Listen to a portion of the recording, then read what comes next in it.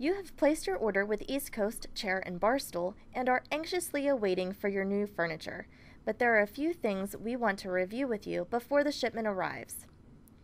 After your order has been placed and payment has been processed, your items are gathered in our warehouse, placed on pallets, and checked by multiple departments for accuracy and quality.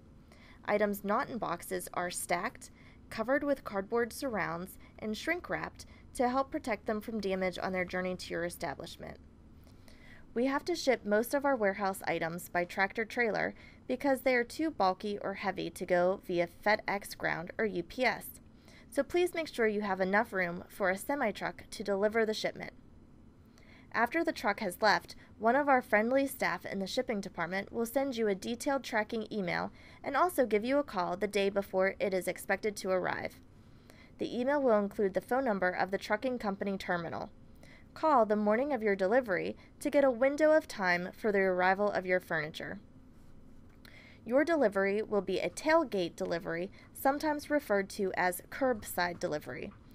This means when the truck arrives at your location, you are required to unload all contents off the pallets from inside the truck and hand them down to the ground yourself.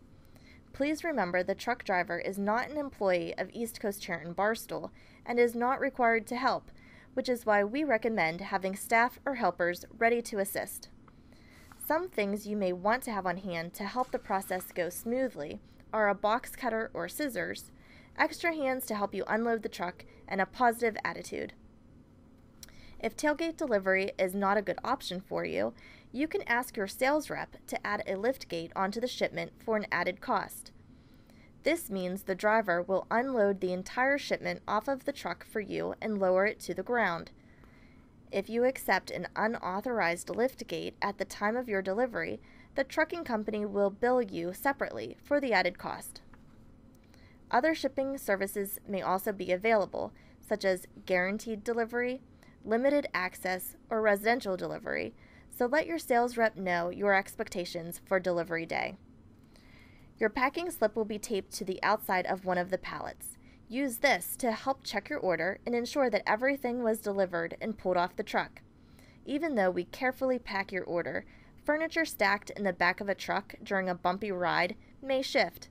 If you notice any shipping damage, such as torn boxes, broken shrink wrap, or obvious scratches and dents, Make sure that you accept the entire order and make a note of it with the truck driver on the bill of lading. Then take pictures of the damage and email to our service team. Shipping damage and missing items must be reported on the bill of lading. If you have any questions about the shipping process, please don't hesitate to give us a call.